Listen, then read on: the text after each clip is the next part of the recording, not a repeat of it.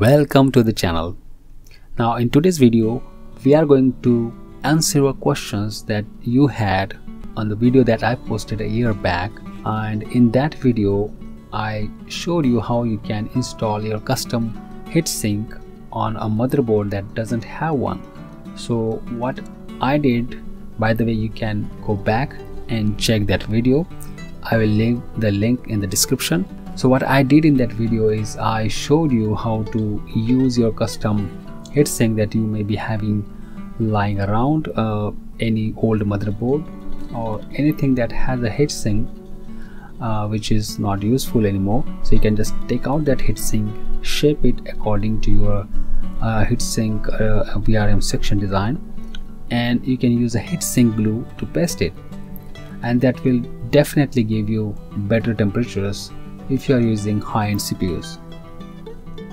So that is something I did in that video and after doing that we did see that uh, by, by measuring temperatures in the front side of the motherboard we did see that we get around 30 degrees Celsius of a temperature difference but then many of you have suggested to check the temperatures not in the front but on the back side of the motherboard VRM section. And that is exactly what we are going to do in this today's video. So uh, first of all I want to uh, tell you that I am using Cinebench R20 to give load to the CPU so that we can uh, see how much uh, the temperatures are on our VRM because we need some load on CPU to check that. So I'm just using Cinebench R20 for it. Uh, now if you can see uh, if I check the temperatures in the front side of the motherboard the temperature reading is around between maybe 60 70 75 degrees Celsius uh, in that range.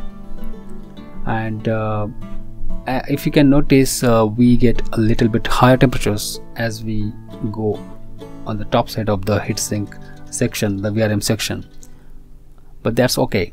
Now if we go and check the, the temperatures on the back side you can see the the result is a little bit more. We are getting around I think 10 degrees more temperature on the back side of the VRM because and that is okay because we are we are directly measuring the temperatures on the VRM there is no heat sink in between. And I totally agree with you guys. You were correct. The temperatures will be different but not that much around 10 degrees.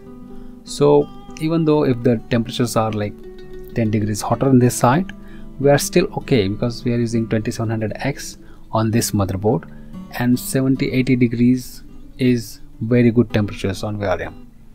I I hope you also agree on that.